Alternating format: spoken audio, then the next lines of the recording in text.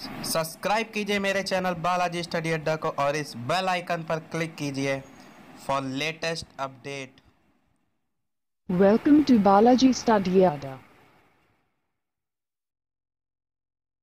नमस्कार दोस्तों, बालाजी स्टडी अड्डा में आपका स्वागत है। जैसे कि हम यूपी टेट सी टेट इनके जो प्रैक्टिस सेट हैं, उनका सॉल्यूशन करा रहे हैं। तो इससे पहले हमने हिंदी के अंतर्गत प्रैक्टिस सेट नंबर जो है, वो पाँच देखा था। अगर आपने नहीं देखा है, साइड में आई बटन में आपको लिंक मिल जाएगा। कंप्लीट प्लेलिस्ट वीडियो के डिस्क्रिप्शन लिंक में आपको मिल जाएगी। इसके अलावा लाइव टाइमिंग जिसे नहीं पता है, उसको मैं बता दूँ कि शाम आठ बजे की जो है वो लाइव टाइमिंग है। प्रत्येक शाम आठ बजे आपका कोई ना कोई एक प्रैक्टिस सेट ज़रूर सॉल्व कराया जाएगा, या तो कोई प्रीवियस ईयर या तो कोई टॉपिक वाइज जो है वो वीडियो तो शाम आठ बजे आपको एक ना एक वीडियो अवश्य मिलेगा, ये टाइम आपका फिक्स है। तो आप कहीं भी हों, आपके पास नोटिफिकेशन ना भी मिले, तब भी जो है आप आठ बजे जो है डायरेक्ट चैनल पर आके वीडियो जो है वो लाइव देख सकते हैं।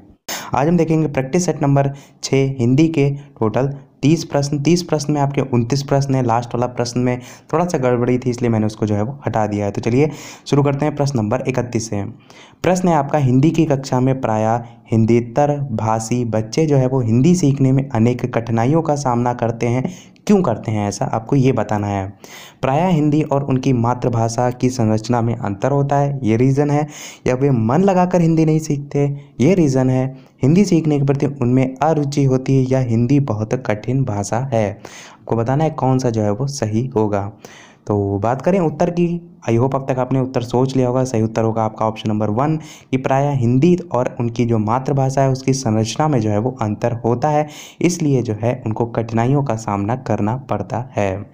अगला प्रश्न बत्तीस देखते हैं। निम्नलिखित में से कौन सा उपन्यास का तत्व आपको बताना है? नहीं है। सौंदर्यानुभूति देश काल शैली या कथा वस्तु आपको बताना है कौन सा उपन्यास का तत्व जो है इनमें से नहीं है। बात करें उत्तर की तो जो सौंदर्यानुभूति आप देख रहे हैं, ये उपन्यास का तत्व जो है वो नहीं है। तो यही आपका ऑप्शन नंबर वन जो है वो सही हो जाएगा। प्रश्न आज के काफ़ी अच्छे हैं। तो देखते हैं कितने जो है आप सही इसमें कर पाते हैं। अगला प्रश्न तैंतीस कह रहा है कि संस्कृत के वे शब्द जो हिंदी में बिना किसी परिवर्तन के प्रयुक्त होते हैं, वे क्या कहलाते हैं? संस्कृत तद्भव, तत्सम या देशज। तो वे शब्द जो संस्कृत के हैं और हिंदी में जो है वो बिना किसी परिवर्तन के प्रयुक्त होते हैं, उन्हें क्या कहा जाता है? उन्हें कहा जाता है तत्सम शब्द। ये चीज़ हम आपको ऑलरेडी भी बता चुके हैं। अगला प्रश्न है थर्टी फोर कि सरस्वती पत्रिका के संपादक जो हैं वो कौन थे? श्याम सुंदर दास, महावीर प्रसाद द्विवेदी, रामचंद्र शुक्ल या प्रताप नारायण मिश्र? सरस्वती पत्रिका के संपादक जो है आपको बताना है। Option A, B, C, D, चार हैं आपके। सरस्वती पत्रिका के संपादक की बात करें तो कौन है? ये जो हैं आपके हो जाएँगे महावीर प्रसाद द्विवेदी। ऑप्शन टू जो है आपका सही हो जाएगा। बात कर लेते हैं अगले प्रश्न थर्टी फाइव की, कि तुलसीदास जी ने अपनी रचनाओं में किसका वर्णन किया है? शिव का, कृष्ण का, राम का या विष्णु का? तो तुलसीदास की जो रचनाएँ हैं, उसमें किसका वर्णन जो है आपको देखने को मिलता है, ये आपको बताना है। तो यदि आपने रामायण देखी होगी तो आपका यहाँ पर उत्तर बिल्कुल भी गलत नहीं होगा। बात करें उत्तर की तो उत्तर क्या होगा? ऑप्शन नंबर तीन, यानी कि राम। अगला प्रश्न देखते हैं थर्टी सिक्स की दोहा कोस के रचयिता जो है वो कौन है? चार ऑप्शन है आपके, लुईपा, जोइंदू, सरहपा या कन्हप्पा। आपको बताना है कौन सा जो है वो सही होगा। Option A option B option C या ऑप्शन डी बात करें, चलिए उत्तर की कौन सा सही होगा? सही उत्तर होगा आपका ऑप्शन नंबर तीन यानी कि सरहप्पा। दोहा कोस जो है उसके रचयिता कौन है? सरहप्पा। अगला प्रश्न थर्टी सेवन देखते हैं। विद्यार्थी शब्द में जो है वो कौन सी संधि है? दीर्घ संधि है, गुण संधि है अयाधि संधि है या यड़ संधि है? विद्यार्थी शब्द में जो है आपको संधि जो है वो बतानी है। तो संधि विच्छेद करके आप देखेंगे तो इजीली तरीके से आप इसे बता सकते हैं। कौन सी संधि होगी? विद्या प्लस अर्थी में। दीर्घ संधि, आपका ऑप्शन वन जो है वो सही हो जाएगा। अगला प्रश्न थर्टी एट देखते हैं। रामायण का संधि विच्छेद जो है, इनमें से जो है वो क्या होगा? राम प्लस अयन, राम प्लस अयन, या राम प्लस यन, या रमा प्लस आयन तो आपको रामायण का संधि विच्छेद बताना है। इनमें से जो है वो क्या होगा? बात कर लेते हैं उत्तर की। तो रामायण का संधि विच्छेद क्या हो जाएगा? आपका राम प्लस आयन, यानी कि ऑप्शन वन जो है आपका सही हो जाएगा। अगला प्रश्न थर्टी नाइन देखते हैं कि पद्मासन में कौन सा समास है? द्वंद्व समास है, कर्मधारय समास है, बहुब्रीय समास है या तत्पुरुष समास है? चार ऑप्शन है। आपको बताना है कि पद्मासन जो है उसमें कौन सा समास है? पद्मासन में जो है आपको समास बताना है। बात कर लेते हैं, चलिए उत्तर की। कौन सा सही होगा? सही उत्तर होगा आपका ऑप्शन नंबर तीन, यानी कि बहुब्रीय समास। यही जो है आपका सही हो जाएगा। बात कर लेते हैं, चलिए अगले प्रश्न चालीस की। इसके अलावा वीडियो पसंद आ रहा हो तो प्लीज़ वीडियो को लाइक भी जो है वो ज़रूर कर दीजिएगा। बात करें अगले प्रश्न चालीस की कि रण कुशल में समास जो है वो बताइए।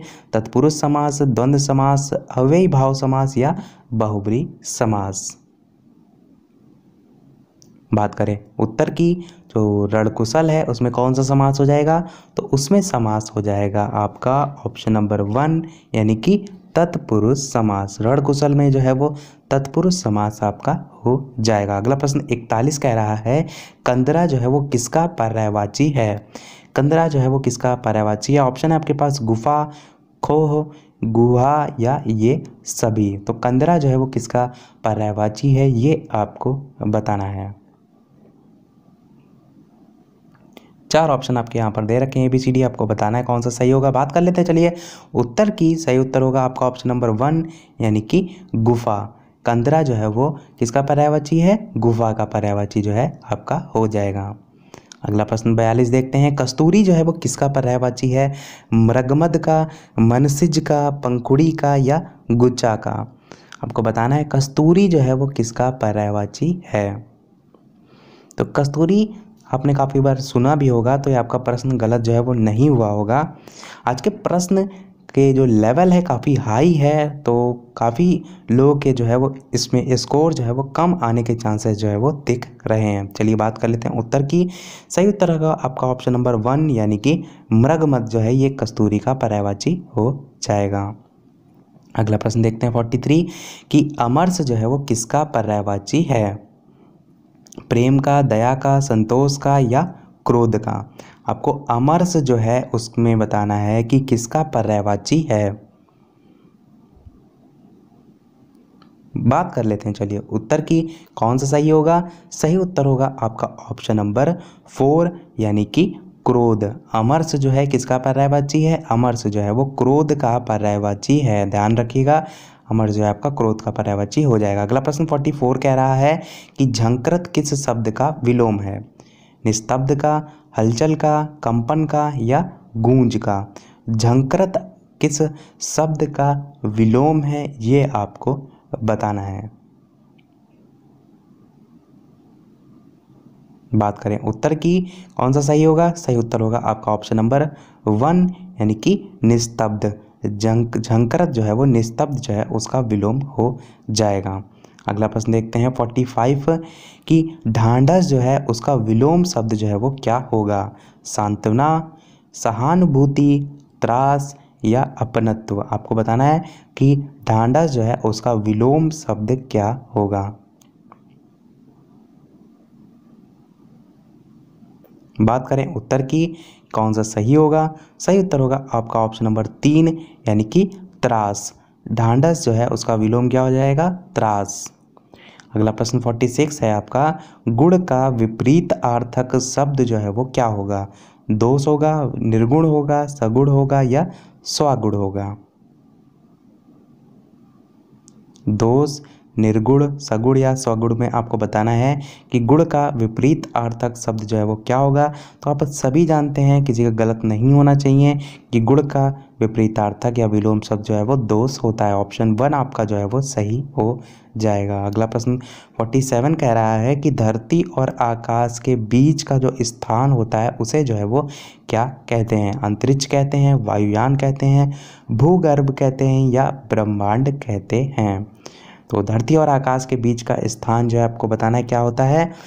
बात करें उत्तर की, अंतरिक्ष वायुयान, भूगर्भ और ब्रह्मांड में से सही उत्तर होगा आपका ऑप्शन नंबर वन यानी कि अंतरिक्ष, यही जो है आपका सही हो जाएगा। अगला प्रश्न फोर्टी एट देखते हैं। इसके अलावा अभी तक आपने वीडियो लाइक नहीं किया तो प्लीज़ वीडियो को लाइक भी ज़रूर कर दीजिएगा, ताकि हमें और ज़्यादा से ज़्यादा मोटिवेशन मिले हम और अच्छे से अच्छे प्रश्न जो है आपके लिए लेकर आएँ।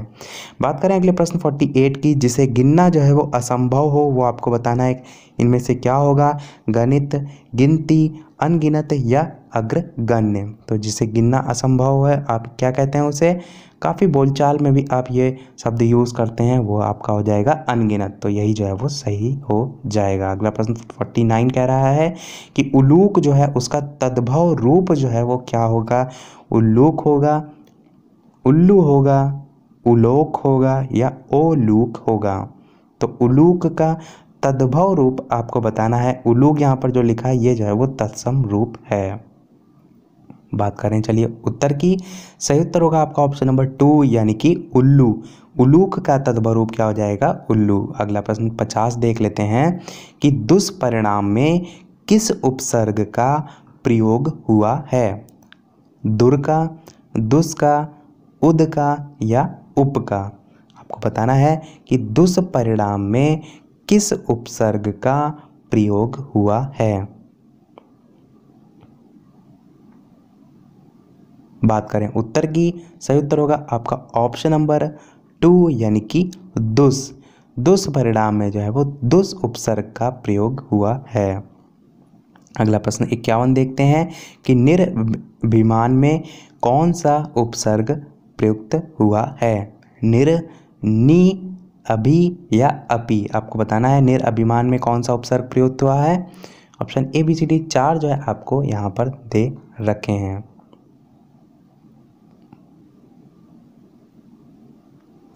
बात करें उत्तर की, सही उत्तर होगा आपका ऑप्शन नंबर वन यानी कि निर।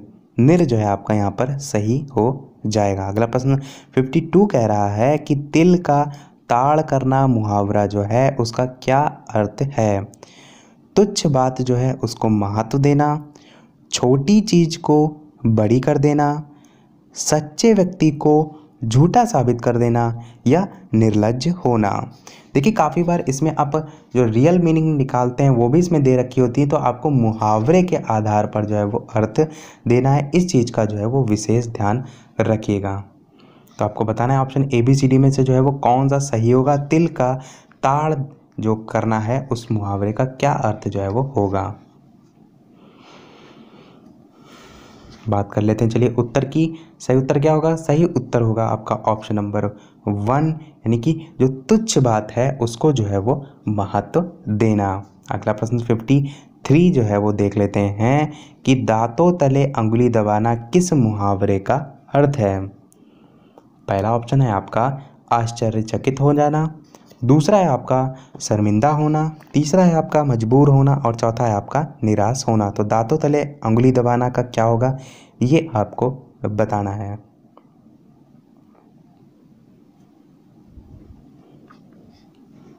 आई होप अब तक आपने उत्तर सोच लिया होगा। बात करें उत्तर की, सही उत्तर क्या होगा? सही उत्तर होगा आपका ऑप्शन नंबर वन यानी कि आश्चर्यचकित होना। दांतों तले उंगली दबाना किसके मुहावरे का अर्थ हो जाएगा? आश्चर्यचकित होना। जैसा कि हम आपसे सभी वीडियो में एक ना एक प्रश्न ज़रूर पूछते हैं तो इसी प्रकार आज के वीडियो का आपका प्रश्न है, जो कि आपको जो है वो कमेंट सेक्शन में टाइप करके उत्तर बताना है। तो बात करें प्रश्न की तो प्रश्न क्या होगा? आपको ये बताना है कि भारत भारती जो है वो उसके रचनाकार जो है वो कौन है? काफ़ी अच्छा क्वेश्चन है, इसलिए मैंने यहाँ पर आपसे पूछा है, भारत भारती के रचनाकार कौन है? ये आपको जो है वो कमेंट सेक्शन में टाइप करके बताना है। इसका जो अगला प्रैक्टिस सेट आएगा, वहाँ पर हम इस प्रश्न को शामिल करेंगे, वहाँ पर हम इसका उत्तर देंगे। सभी लोग ट्राई अवश्य कीजिएगा। नहीं पता है तो इसको सर्च करके तब जो है वो उत्तर टाइप कीजिएगा। कहीं ना कहीं सर्च करने में भी चीज़ें आपको याद हो जाती हैं। तो सभी लोग कमेंट सेक्शन में उत्तर ज़रूर बताइएगा। चलिए बात करते हैं अब अगले प्रश्न की। अगला प्रश्न 54 है। सही वर्तनी वाला शब्द चुनना है आपको। आपको बताना है अनभिज्ञ जो है वो कैसे लिखा जाता है। चार ऑप्शन आपके सामने दिख रहे हैं, आपको अनभिज्ञ जो है वो बताना है, कौन सा सही होगा। कुछ गिने चुने वर्ड हैं जो घूम फिर के काफ़ी बार पूछे जाते हैं तो उनको लिखने की प्रैक्टिस अवश्य कर लीजिएगा। बात कर लेते हैं, चलिए कौन सा सही होगा, सही उत्तर होगा आपका ऑप्शन नंबर टू यानी कि अनभिज्ञ जो है वो इस प्रकार लिखा जाता है। अगला प्रश्न, पचपन कह रहा है कि सही वर्तनी वाला शब्द चुनिए। आपको जो है वो समाद्रत बताना है कैसे लिखा जाता है। आपको इन चारों ऑप्शन में समाद्रत कैसे लिखा जाएगा, वो जो है बताना है। चार ऑप्शन जो है आपके यहाँ पर दे रखे हैं।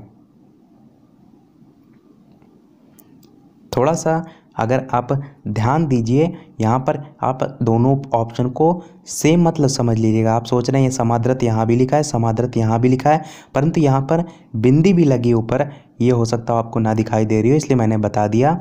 बात करें, चलिए उत्तर की कौन सा सही होगा? सही उत्तर होगा आपका ऑप्शन नंबर टू समाद्रत जो है वो इस प्रकार लिखा जाता है। यही जो आपकी सही वर्तनी हो जाएगी। अगला प्रश्न फिफ्टी सिक्स कह रहा है कि काव्य शास्त्रों में रसों की संख्या जो है वो कितनी मानी जाती है? छः मानी जाती है, सात मानी जाती है, आठ मानी जाती है या नौ मानी जाती है? काव्य शास्त्रों में रसों की संख्या जो है वो कितनी मानी जाती है, ये आपको बताना है। इसके अलावा वीडियो पसंद आ रहा हो तो वीडियो को लाइक भी ज़रूर कर दें।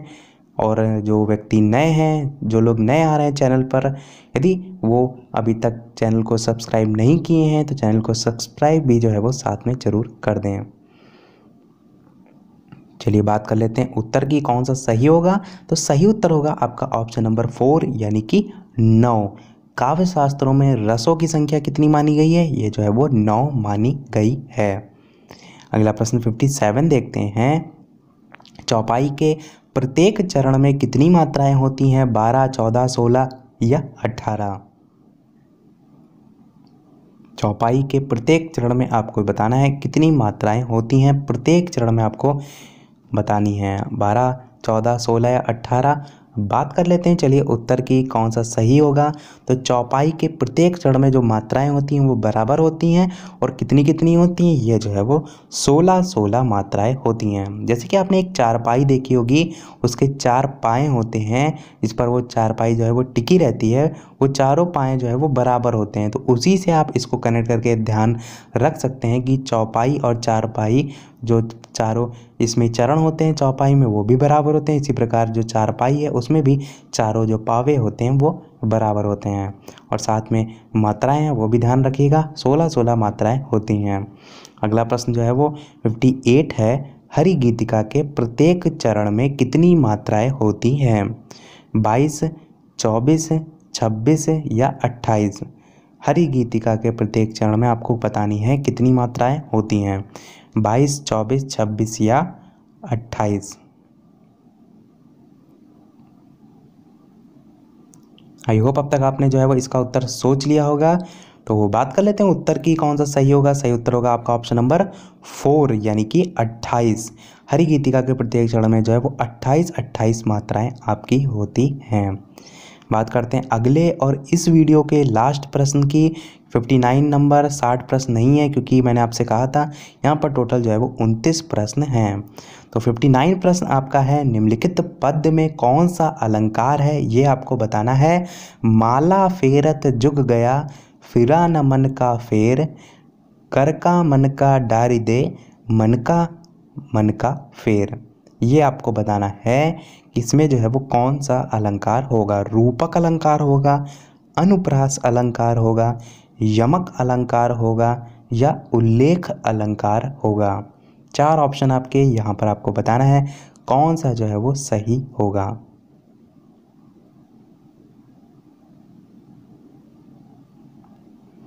तो मैं यहाँ पर आपको पाँच सेकंड दे रहा हूँ ताकि आप दोबारा से ये जो लिखा हुआ है, इसको पढ़ सकें पद को और अपने आधार पर जो है इसे सोच सकें। बात कर लेते हैं, उत्तर की कौन सा सही होगा? सही उत्तर होगा आपका ऑप्शन नंबर तीन, यानी कि यमक अलंकार। यहाँ पर आप देख रहे हैं, मन का मन का दो बार आ रहा है और दो बार जब कोई शब्द आए और दोनों बार अर्थ जो है वो अलग अलग होता है, तब वहाँ पर क्या होता है? यमक अलंकार। अब देखिए, जो आप यहाँ पर पद देख रहे हैं, इसमें जो है, जो ये जो आप पद देख रहे हैं, सबसे पहले आपको ये पता होना चाहिए किसका है दोहा। तो ये दोहा जो है वो कबीर जी का है। इन्होंने जो है इस दोहे में कर्म कांड जो है, उस पर करारा प्रहार जो है, वो किया था। इसमें अगर बात करें, जो मैंने आपसे बोला कि यहाँ पर दोनों के अर्थ अलग अलग हैं तो जो स्टार्टिंग में मन का आ रहा है, इसका अर्थ क्या है यहाँ पर? मन। यहाँ पर जो पहला वाला आ रहा है, उसका अर्थ जो है, वो मन से या कह सकते हैं मानसिक से परंतु जो दोबारा वाला मन का आ रहा है, इसका अर्थ क्या है? माला में प्रयुक्त मोती से। तो दोनों अलग अलग आप यहाँ पर देख रहे हैं। इसीलिए आपका यहाँ पर क्या हो जाएगा? यमक अलंकार। आई होप आपको चीज़ यहाँ से समझ में आ गई होगी।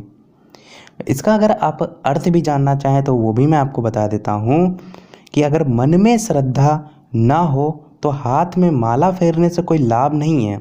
अपने मन का जो है वो मंथन करें, मन रूपी माला के मोती को फिराएँ तो सारे जो फेर हैं वो मिट जाएँगे और जो सारी भव बाधा हैं वो पार हो जाएँगी। ये जो है आपका इस जो आप पद देख रहे हैं, इसका जो है वो अर्थ हो जाएगा। तो इसी के साथ हमारे टोटल प्रश्न जो है वो समाप्त होते हैं। टोटल हमने आज जो है वो उनतीस प्रश्न बात की। टोटल आपके कितने प्रश्न सही रहे, कमेंट सेक्शन में लिख के जो है वो ज़रूर बताइएगा। इसके अलावा वीडियो पसंद आए तो वीडियो को लाइक ज़रूर कर दीजिएगा। आपके एक लाइक से हमें मोटिवेशन मिलता है कि हम और अच्छे से अच्छा वीडियो जो है आपके लिए प्रोवाइड करा सकें। इसके अलावा चैनल पर नए हैं या चैनल को अभी तक सब्सक्राइब नहीं किया तो चैनल को सब्सक्राइब भी ज़रूर कर लें जैसे कि आपको ऐसे ही practice set, previous year paper, important video जो है वो मिलते रहें। तो मिलते हैं अगले वीडियो में एक नए टॉपिक के साथ। तब तक के लिए नमस्कार। Thank you for watching.